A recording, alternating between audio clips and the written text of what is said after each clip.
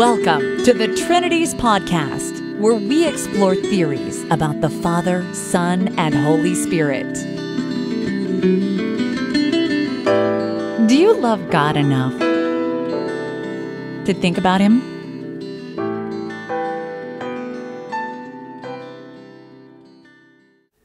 Episode 140 Pastor J. Dan Gill's The One. Pastor J. Dan Gill is the editor in chief of the 21st Century Reformation online website, which was created and is maintained by his wife of 45 years, Sharon Gill. The two of them have been blessed with two daughters, two sons in law, and seven grandchildren. Pastor Gill is a graduate of the University of Tennessee, and he's done coursework in biblical languages at Vanderbilt Divinity School and Belmont University. He serves as a pastor at Higher Ground Church in White House, Tennessee, which is just north of Nashville. I had a chance to talk with him recently about his new book entitled The One, A Defense of God, which is a sort of overview of what he calls Christian monotarian theology. In this interview, we discuss Pastor Gill's religious background, the genesis of this book, and a few of the many topics discussed in it, including Christians and the Older Covenant and the Holy Spirit. Pastor Gill, welcome to the Trinities Podcast. Thank you. Uh, I'm happy to be here. I'm a fan, and uh, it's exciting to actually be a part of it today. This is a little bit unusual. If if you're listening and you hear birds singing and the wind rustling in the trees, it's because we're at the 25th Theological Conference sponsored by the Restoration Fellowship. We're at the Calvin Center near Atlanta, Georgia, and we're standing in front of a beautiful little lake it is indeed pines. very, very peaceful. I might say, beautiful. Uh, Pastor Gill, we're here to talk about your book that you just came out with called "The One in Defense of God." And I wanted to start off by asking about your background because your background is interesting, and it's not something that everybody knows about. So, what sort of Christian were you brought up as? Well, I was born into and grew up as a oneness Pentecostal and while I'm no longer of that persuasion, I do really appreciate my family and uh, people that I was a part of in, in that movement and uh, loved uh, all of them and still do. Oneness, as we see it today, is primarily a part of the larger Pentecostal movement overall. Back in the early part of the 20th century, when the Pentecostal movement, as we would think of it today, got going, the Assemblies of God developed. They uh, formed in Arkansas. There were some, though, of those folks who were with the assemblies, uh, or what was to become the assemblies, who actually had difficulties with some of the issues, particularly regarding God and the Trinity they actually determined that the Trinity just wasn't working. It wasn't making sense to them, uh, scripturally speaking. So uh, those folks, when the Trinity, the Assemblies of God formed, and then some other Trinitarian Pentecostal movements also came along, they didn't go into the Assemblies of God, as it were. They uh, went along and became what now we would call oneness or oneness movement those folks eventually formed into some organizations, the largest of which became uh, what is now known as the UPCI, the United Pentecostal Church International. But that was my roots. I, I grew up in the uh, United Pentecostal Church and uh, appreciated that very much. Still love all of those folks and uh, appreciate them. They were out, I think, to solve a problem in their minds and the problem was that the Trinity just wasn't working in their minds. They they looked and they saw problems with uh, with the Trinitarian view of God as it had been historically embraced in the church. And Pentecostals aren't really big on reading the ecumenical creeds. No, good, good point. Protestants, and they're not the kind of Protestants that recite creeds on Sunday. Right, right. They're they're not very creedal they're just looking into the scriptures and particularly into the book of Acts. And all of the Pentecostals were at that time. But as they were looking into the book of Acts and, and finding scriptural guidance there for themselves, one of oneness folks were looking and saying, wow, you know, it seemed to them that the Trinity is not what was being preached and taught in the book of Acts. So They set out, I guess, to solve a problem. The problem was that the Trinity wasn't working, it wasn't making sense to them. They solved the problem by saying, well, if God isn't three persons, because that didn't work in their view, they had all been Trinitarians previously, by the way, though, but they went through this reevaluation, I guess you'd say, at that point. But uh, they said if God's not three persons, that was an impossibility in their view, then Jesus is God, so Jesus must be the only person of God that there is. So, particularly back in earlier days, and maybe occasionally might still hear it put this way, but they're referred to as Jesus only folks. So, Jesus is, in that view, the Father. Jesus is the Son, uh, which everyone would kind of get that one. And Jesus is the Holy Spirit. And so Jesus is all of God there is, so that the fullness of the Godhead dwelling in Jesus sometimes would be put to say the, it's the Father, the Son, and the Holy Spirit are all in Jesus. And this one individual reflects all of God that there is. So that's the way I grew up and uh, was taught. And as I say, uh, I still appreciate all of those folks and my own family uh, that I grew up in. My mother and father were from that. And actually, I was third generation oneness, and so was uh, my wife as well. It seems to me there's a, there's kind of a division in how oneness Pentecostals relate to Trinitarians. On the one hand, some of them are very belligerent and deny the Trinity and really are very aggressive about that. On the other hand, you see every couple of years some theologians come along or some pastors, and they kind of suggest that really it's almost verbal differences between the Trinitarians and the Oneness Pentecostals. Did you experience both of those, or were you more the hostile or the accommodating kind? well, I guess uh, growing up, I saw it all. I think that Oneness folks uh, many times were very well studied, still are, knew and understood well what their their particular understanding of the Scriptures was, and uh, at least among the folks that I grew up around and with and under, uh, they uh, they were very diligent about the Bible, very, uh, and you had some really good good scholarship, if I can say that. I think uh, in error in some important ways now, of course, but but nevertheless, good scholars in that view and uh, able defenders. And I still remember uh, as a young fellow going to debates that were held between uh, oneness pastor and uh, and some other folks of note, uh, Church of Christ folks in particular, and and it was very interesting. I grew up understanding the oneness perspective and the oneness point of view, and it was mine as well. And I think uh, I studied and learned uh, from good teachers in that movement, and uh, I think was, uh, if I may so say, uh, very capable in in understanding my faith and defending the oneness, and uh, and a very firm believer. I and all of my family so you're not oneness now, but you didn't drift away because you were half informed or didn't care or anything like that. You studied your way out of it in a sense, didn't you? I think so. If if I was not of the view I am today, I might very likely still be a oneness fellow. I think uh, there's certainly difficulties with oneness, but I think there's at least that many difficulties with the Trinitarian perspective. So uh, I'm very happy to be where I am today in my understanding and my faith. But I think uh, they were setting out to solve a problem about God couldn't be multiple persons. I just don't think they solved the problem correctly or in the best way. I'm going to put a link on the blog post for this episode to your interesting talk entitled Oneness to One. And you really get into your full story there. It's very interesting. People should check that out that'll be a link to the 21st Century Reformation website that you run with your wife Sharon.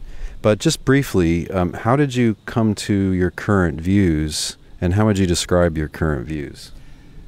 Well, I was living in Nashville after Sharon and I had gotten married, and uh, we were good oneness folks, if I may so say. Uh, and going to our local oneness church had good oneness pastors and teachers and but I really do believe that it was just the kindness of God that was good toward me and stirred my mind and my heart to realize that while Trinitarianism certainly has, theologically speaking, some very uh, unfortunate deficits and problems, uh, I began to realize so so did our oneness perspective.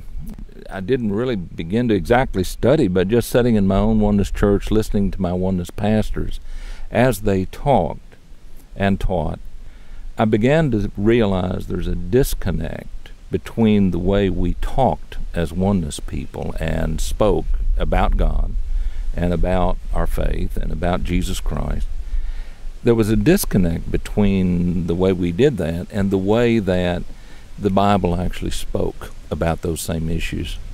So we would have uh, testimony services, wonderful services in which people would would turn in their testimonies, but a testimony service in my oneness church would probably involve a person standing to to glorify our God Jesus Christ. And that's also the way a, a, a lesson might begin, or a teaching. It certainly would include uh, talking about Jesus Christ our God. And as I read the scriptures, I began to realize that the scriptures actually spoke about the Father as being God. And Jesus, uh, Christ, the Messiah, not God, but he as as the Son of God, and he as uh, as the Christ. And in our oneness churches, it was not unusual for the teacher or pastor to to not like some of, some of the language. Uh, if we're talking about Jesus as Christ, that seemed to fall flat. That did not really offer a, a good picture of who Jesus is. So we didn't want to talk about Jesus as Christ. We wanted to talk about Jesus as God. But that sort of belied, if you will, my understanding and, and set me to reading the scripture more for what they really say. And uh, I remember doing a study one time just um, on a computer and checking out all the scriptures where the words Jesus and God occur together in the New Testament. And it was just amazing that all of the cases that I looked at, Jesus and God were two different individuals in there, not two different parts of one individual, but two different individuals. Not two modes of one substance. Right. Yeah, that's uh, it's interesting. Uh, modalism, uh, and many people think of oneness as modalism. Uh, actually, God operating in different modes or we would hear the term manifestations a lot. The three different God has three different manifestations. I think there's difficulties there that the three manifestations after it's all said and done it's hard sometimes to tell the difference what, between what three manifestations would be and what three persons would be and yet in our oneness uh, perspective we didn't like the idea of three persons at all. We we had one person having different manifestations, but when you actually begin working with that through the scriptures, it's kind of hard to tell what the difference would have been.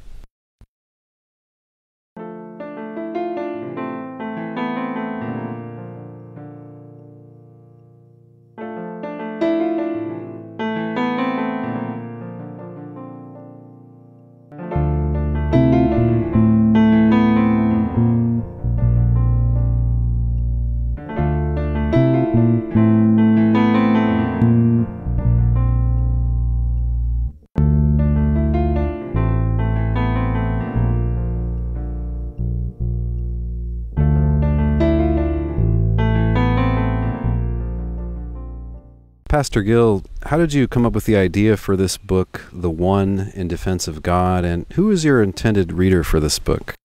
Well, I began thinking about this book quite some years ago. Um, my perspective, of course, became over time that the Father is the only true God, and uh, that Jesus is not God, but rather is the Son of God, his human Son, his miraculously begotten human Son, by all means. But as I developed in my understanding of that, at that point, I actually, in my ignorance, I wasn't aware that there were other folks who looked at it that way or saw that. So for some years, I uh, studied and on with my family, and then we had a, a, a, group of folks that we studied with and talked with along the, these various lines. But uh, Eventually, uh, over time, I began to feel like that perhaps I might could write a book that would be helpful to people in understanding this perspective of God, which I feel like is far better, uh, much clearer than either the Trinitarian or oneness perspectives. So, for some years, I guess, in my mind, I was thinking about how we might could help people to understand this perspective and to realize the what I believe to be the clarity and the power, and if I may say, the beauty of this, and how that it's really much better than modalism or oneness or the various Trinitarian perspectives that you hear. I, I, just like this better. It works better for me.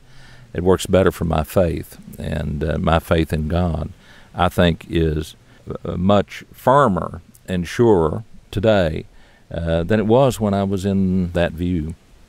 Over time, uh, as we we formed a fellowship, and as I taught on these issues, and heard others speaking others speaking on the issues, I did think what I might could write or say that would help others to understand. That's that was the genesis of the book, I guess. But then I still didn't really write the book to sit down and write it for some years. Thought about it and uh, made notes along the way and different things, but but began actually sitting down and putting it all together here a while back. it, it is a task to write a book, as you know. But on the other hand, I enjoyed writing it and uh, enjoyed thinking about how we might convey a clearer understanding of these things to the folks out there. My audience was not really oneness people exactly, though certainly it would include my oneness friends. But uh, to any Christian uh, of whatever perspective, I guess Trinitarian, of course, being the, the most popular, but to all the folks who have believed that Jesus is God Almighty, or that Jesus is God in addition to the Father, as uh, some of the perspectives would go. I wrote the book trying to kind of build some bridges over to help folks uh, maybe have a better understanding of this this matter, having come from those backgrounds. But I kind of uh, actually used an approach of writing the the chapters of the book to maybe the, the person who sits in the pew who might have an interest in these things.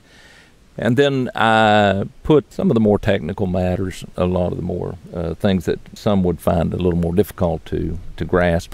I have put those into the footnotes, which come at the end of each chapter. So my thought was maybe I could do some work here that would help everybody in some ways to, to, to see these matters better. Well, we've talked about a couple labels already, Pastor Gill. We talked about Trinitarians, Oneness, Pentecostals. And one interesting thing in the book is you coin or almost coin a new term for your kind of view. You have a section here entitled Why I Am a Christian Monotarian. Mm, mm. So let's talk about that and why not some of the other terms that are out there. Sometimes I think labels are not particularly helpful. They're, they cause us to shortcut maybe having a clearer understanding of, of the issues because we can label something. And I, and I think you commented on this uh, even at this conference that as long as you can label something, then you can dismiss it very quickly out of hand. But but on the other hand, I think sometimes uh, uh it is helpful to have words that express a name uh, for a particular perspective or view uh, shorthand for addressing that, I guess. And there there are terms that are used often to, address this perspective of the Father as being the only true God. I'm not taking issue with those at all. I think true monotheism, I believe, is a perspective that only the Father is God. I think that's uh, a Jewish perspective. We look at that. There are millions of Jews in the world today who would, I think, agree with that perspective even uh, our Muslim friends, uh, folks out there in the Muslim world also, I think, uh, would see that same idea that God is only one, and they would probably identify that with being the Father. So, monotheism, but yet folks would claim monotheism where there's, I think, problems still in that view of monotheism. So, a Binitarian view is that God is two separate persons and yet somehow one God, and we'll say we're monotheistic. Or, and uh, on the other hand, uh, You can have the, the Trinitarian view that expands that to three persons that we would say are, are God, and uh, yet there's somehow only one God. So we have these. The word monotheism is a great term, and I use it quite often. On the other hand, I think it's sometimes misappropriated from what true pure monotheism would be. So why not Unitarian or biblical Unitarian? Well, those are, are nice terms too. Those would come very near to expressing our perspectives. You might say that anyone who believes that God is one individual is Unitarian. But Unitarian perhaps still doesn't always clarify what kind of Unitarian we are. So we might be a Jewish Unitarian, we might be a, a Muslim Unitarian. But Christian Unitarians, that's to me uh, very much on track, then we're getting there well uh, with that. We would say that now we are Unitarian, Unitarian, Unitarian, as opposed to perhaps Binitarian or Trinitarian. We only have one who is God, and we really mean it. but we would say then that Jesus was Unitarian in that sense. He believed that his Father was the only true God, John 17 and 3, and that he then was the Christ, uh, the Son of God. We know that. But one problem with the Unitarian term, and that has been applied and used by a lot of folks over time, and uh, a lot of good folks too. But the problem uh, that arises there, I think, is uh, the Unitarian movement has been uh, awfully uh, fluid and flexible in what it has included, and many times Unitarians have not been very biblical, uh, say that. So that brings us back to uh, the term you minute, used a moment ago, and biblical Unitarian. And I like that term a lot. I think that expresses very well where we're at. As to the term monotarian, I just offer that to kind of folks out there, and if, if some find it helpful, then then great. Uh, one of the problems we found with the term Unitarian at any level is that there is the Unitarian Universalist movement, uh, self described as you use, which are folks now who are not particularly Christian. It's a different religion. Right. It, it doesn't relate to what we're doing here at all. The problem being then when you say, well, I'm Unitarian, rather than people seeing that as the faith of Jesus in John 17 and 3 as we do, they see it as being something that's away from Christianity or unbelieving, and, and so there's confusion there. So I think perhaps the term monotarian might be helpful to some, some folks along the way for uh, as a Christian monotarian then we're suggesting we're the folks that believe God really is one, just like Jesus did. We believe that the that the Father is the only true God. Jesus is the Christ, the Christ of God. And the Spirit of God is just God in operation, God operating and working among His creation or in His creation.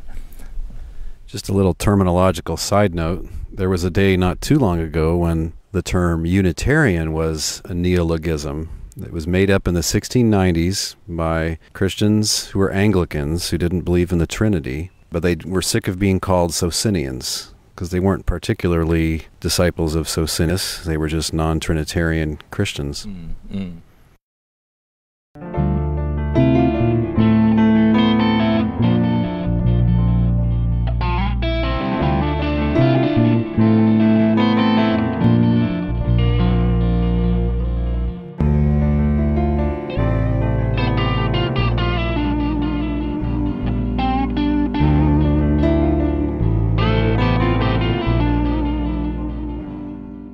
Pastor Gill, there are a lot of people in the world who talk about God. You'll hear about God on the lips of Hindus, New Agers, people who are hard to describe, but also Jews, Christians, Muslims, sure. and all the people in the, the last segment that we talked about Trinitarians, Unitarians, etc. Sure.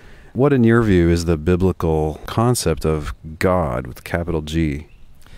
Well, it's interesting. I, I, think that humanity at large has tended throughout history to have some notion or concept of a greater being who is above us and to whom we likely owe our existence. At least most folks are agreed with that. To me, I am a biblical person. Leaving the Trinitarian perspectives behind and leaving my oneness uh, perspective behind. I didn't leave the Bible behind at all. In fact, uh, I would want to be clear that it, it is because of the Bible, it's because of the Scriptures that I'm where I'm at in my faith today and regarding this matter of the one God. My view of the one God today uh, is really the God of the Bible that I am absolutely taken with. I, I think that no thought or idea or perspective of God matches the God that is spoken of and spoken about, and I believe speaks through the scriptures in, in the Bible. That's the God I love, the God of Jesus Christ. I think there's a lot of efforts on the part of people sort of act like Acts 17. They're feeling after him. They're kind of looking for him, reaching after him. And but I think everything that I have seen in the religions of man falls short of the glory, the power, and the clarity of the one true God of the Bible. And uh, so I'm very much a Bible guy. I'm very much a Jesus fellow. My God is the God of Jesus now, I meet people who will say things to me like, uh, yeah, I, I, believe in God, but I don't like organized religion. I'm not sure God's personal. Maybe God is a, a divine force. Yeah, they watch Star Wars movies. God, God's the force. what, what, what's wrong with that? The notion of a God who is a force in the universe or and so on, and not a person as such, not a personality uh, as I believe God to be. All of that falls short to me. The God of the Bible is a genuine, real being. We are in His image, which begins to give you a little bit of an idea of He's an He's an intelligent being, uh, and He is a, a personal being he has his own personality, his own character, and uh, he's wonderful and excels us, of course, in every way. Uh, he created us. But I think that God appeals to me, whereas the notions that we find, particularly in the Eastern religions sometimes and, uh, and otherwise, of a God who's sort of a nebulous, just sort of out there. I don't think that's the God of the Bible, and I don't think that idea of God competes well with the understanding of God that we find in the Bible. The God of Jesus, to me, is a personal being. The Father of Jesus Christ is not a nebulous, uh, out there being. We know Him and He knows us, or at least certainly we're capable of knowing Him. And uh, that would be uh, our objective, I think. So, so I think folks that are in other perspectives, the Eastern religions and New Age, whatever it may be, all of these other things, I would encourage them to maybe stop themselves a little while. Go back actually and read your Bible with fresh eyes. Read the New Testament. Read about Jesus, but read about the God of Jesus and think about that. I think we'll find that understanding of God is wonderful and excels all these other ideas that I believe folks have come up with over time about God. I can't help but notice that you keep calling God He. You're not using He, She, or it, or avoiding pronouns altogether by saying God Self, or just always saying God. I mean, what is this important that you should use personal pronouns? How does this relate to the biblical God versus other ideas of the ultimate? My God is the God of Jesus Christ. I'm a Christian. If I'm a Christian, then it would seem to be fundamental that above all, the God Jesus served, the God that Jesus taught about and spoke of, and the God that he communed with, that would be my God. I, think that would be a fundamental of being a follower of Christ, that I would be a follower of His God. So I learn of God through Christ, and what I learn is He's a father, He's not a mother. He is a He, and not really a she. So I find that it, it just works well and makes sense to me in my faith and in my, my following of Christ that God is a He. Pastor Gill, are you saying that God is literally male, like has a male body?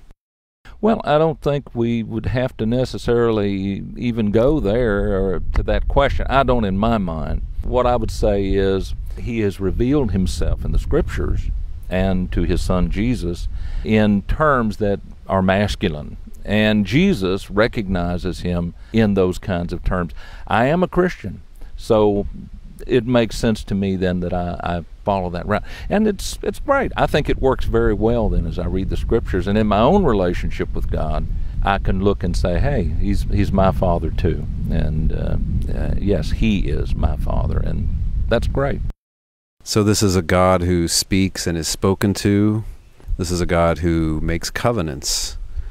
Can you talk a little bit about God making covenants? That's actually a big part of the book, and a difference between the deal or the covenant with the Jews and the deal or the covenant that Christians enjoy. Oh, yeah.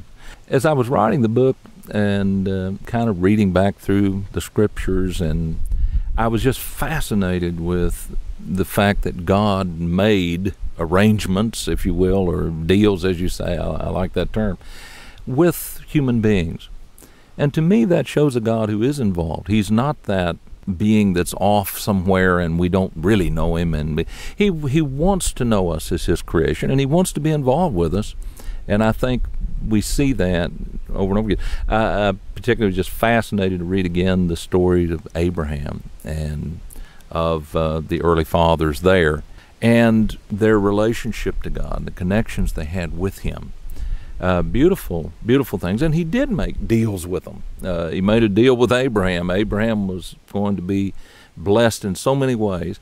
And Abraham's side of the deal was he would serve God and he would not serve others, but he would he would walk with God and, and do those things that God asked him to do, directed him to do. So that was wonderful. It's interesting to me. I think there's a lot of confusion on the part of Christians today regarding the later deal, one that came through Moses. And uh, this was a, uh, a wonderful thing as well, a beautiful uh, covenant, if you will, arrangement that God made. But He did make that arrangement with the children of Israel, if you will, that came out of Egypt. Moses said, uh, you know, this, this deal is with y'all, you today. It wasn't with your fathers. It was with all of us here today and with our descendants. So it was a wonderful thing, the, the law of Moses, as we would say, or that great covenant through Moses.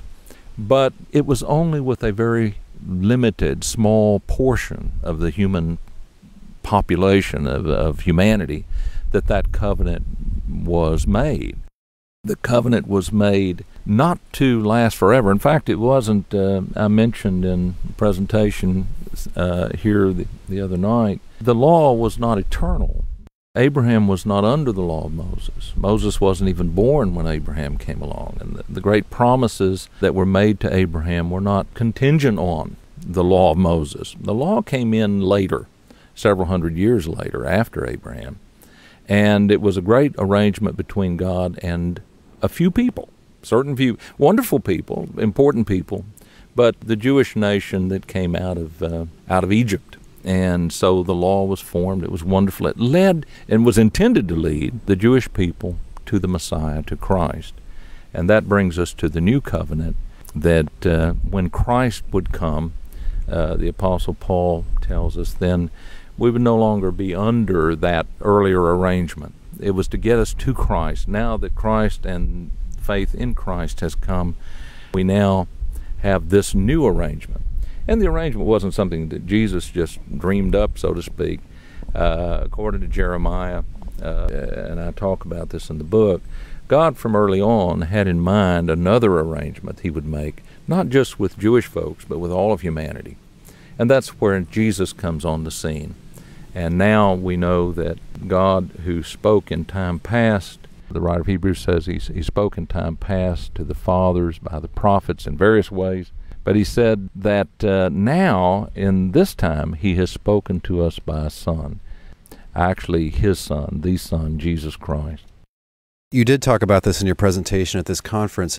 It's a very nice talk. It's addressed to people who get into the so called Jewish roots movement. Yeah that is something that is also addressed in the book at, at, a little bit of length. You put it in a proper context.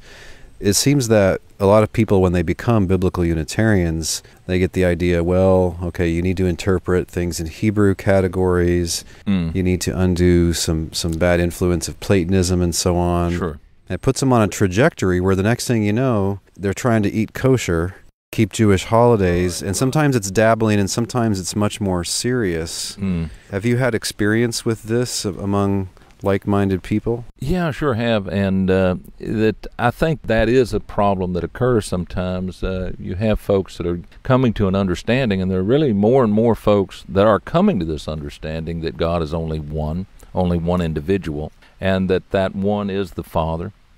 And uh, but as they're doing that, they're they're saying, well, hey, then the Jews had that idea right. So maybe maybe the Jews are right about we ought to keep the law of Moses, but I would encourage everyone to take time and and to uh, work their way through that carefully because that is not the way that we would want to receive and to know Christ. And the God of Jesus Christ has given to us a new uh, arrangement, a new covenant in Him. And as you note in the presentation there, some people punt on Paul, Oh, but it's not just Paul by any means. It's it's the whole New Testament really and the wider context of the Bible. exactly. seems to me there could be a thin line between just doing Jewish things as a hobby, uh, but then there's always that one zealous person who starts to think that you're a little more spiritual if you do these things, if you keep the holidays or keep the Sabbath and so on. Is that your experience? Yeah, um, I was going to say I run into Jewish roots folks and rabbis and so on, and, and very devout people, very dedicated people. So uh, that's to me not in question at all. I think they are misguided to think that somehow they are right or more righteous or better off as Christians by keeping things that pertain to the law that God gave to the those Jews who came out of Egypt. It becomes a problem. Uh, it becomes difficult if you begin keeping those days and those various requirements. Then it becomes very difficult for folks to even worship together after a while because if, if some are not trying to keep that particular Jewish perspective of things, then it becomes difficult for them to worship with the folks who are determined to do that. So I would encourage every Christian, and I find a lot of confusion on this matter, even among folks who are not necessarily Jewish roots, as we would say, or even just among mainstream Christians, there's a lot of confusion about, well, aren't we still under the law or parts of the law, or shouldn't we be doing some of those things or all of those things, or and how does this work? So um, actually, the the fourth chapter of the of the book I devoted to trying to bring some clarity on those issues for Christians and for folks to get a, a maybe a clearer, better picture, a better understanding of how all that how all that should work for the Christian today. And then surely we're not under the law of Moses. Gentiles never were. it's it's almost uh, if it wasn't so serious, it would be uh, almost humorous to think of Gentiles today trying to keep the law of Moses. It wasn't our covenant. We were never under it to begin with.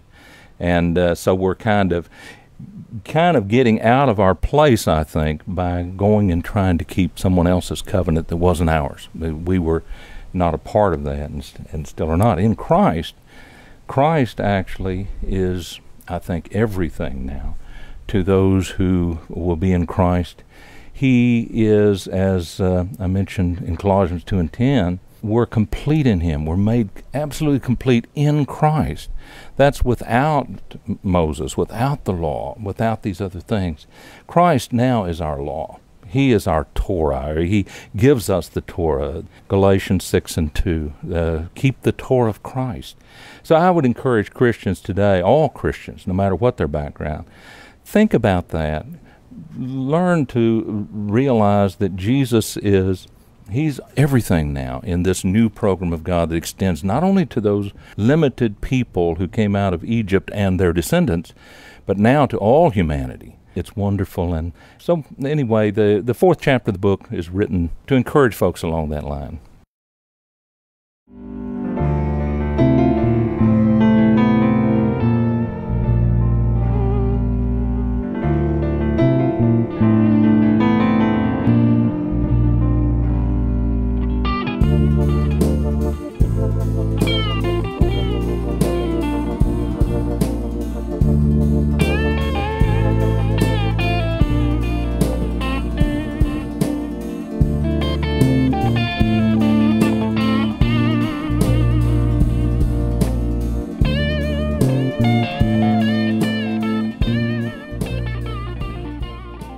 Pastor Gill, you began your Christian life, and you and your wife and your family, your extended families, lived for a long time in the orbit of Pentecostal Christianity. Right. And uh, I might think there's, in a sense, you still are Pentecostal in that you're, you're not a bitter ex Pentecostal that rejects it's all nonsense and whatnot. Oh, there, no. There's Yeah. still an aspect to your spiritual life, I'm guessing, that is sort of Pentecostal in its type.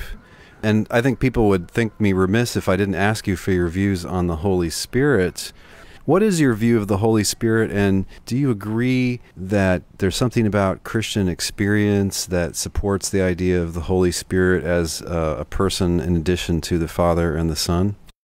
Well, you're right about our background, and uh, right in that neither have I nor my wife abandoned or turned, uh, you know, against, if you will, our Pentecostal roots. Uh, we we have not done that, and and I don't foresee that happening. Partly because of experience, but even more so, I think, because of the scriptures and our understanding view of the scriptures with regard to the scriptures and the spirit i address the question of is the spirit the holy spirit a, a separate entity a separate person of god separate from the father separate from jesus. And that's really the sixth chapter of the book. So that entire chapter is devoted to taking a fresh look at the question of is really is the holy spirit a separate entity a separate person the conclusion that the reader will find in the sixth chapter is it's really not a separate person, it's not a separate individual from the Father. It is the Father in action, it's Him in motion. It is Him, it is God, but the God that it is is the Father in work, in motion, in action. So the sixth chapter is devoted to that. I would encourage, uh, again, Christians give a fresh look at this question of the Holy Spirit. The arguments usually made to see the Holy Spirit as a separate entity actually, I think, are on the very thinnest of grounds. It doesn't really work very well. Get the book, read that sixth chapter, and then let me know what you think about that because I think the case for the Holy Spirit actually being the Father in action is a far better case than the idea that the Holy Spirit as a person or entity separate from the Father. So, as far as uh, our Christian experience in the Spirit, I think all Christians, at least certainly, I think most all the Christians that I know of all stripes, do believe in the activity of the Spirit in the life of the Christian. There's some connection, some relationship there, and I think that for Christians that's important. So, I think the there is this question about Pentecostal experience, uh, which is another question, but maybe it needs to wait for uh, the next book. maybe we'll have a chapter in the next book to, to talk about that some. But I would uh, encourage people, wherever you're at in relationship to your walk with God, in your experience with the Spirit of God, be open minded and look to God because there may be more depth, more involvement by His Spirit that we can experience as Christians. Again, no matter what our background may be. And I think that's important, and uh, it's certainly important to us. Pastor Gill, thanks for talking with us. Oh, you're very welcome. Thanks for having me. I, I love your blog, and uh, we'll continue to follow you and uh, look forward to seeing you again in, in the future.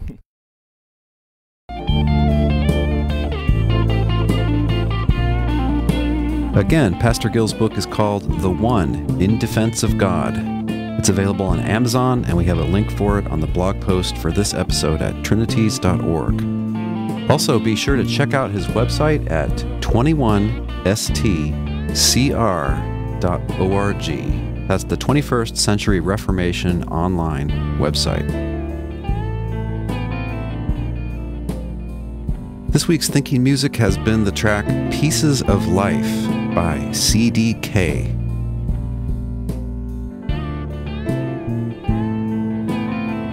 Before you go, I just wanted to say thanks to Jan in the Slovak Republic for his donation through PayPal. If you'd like to donate to the Trinities podcast, just look for the orange buttons to the right of any blog post.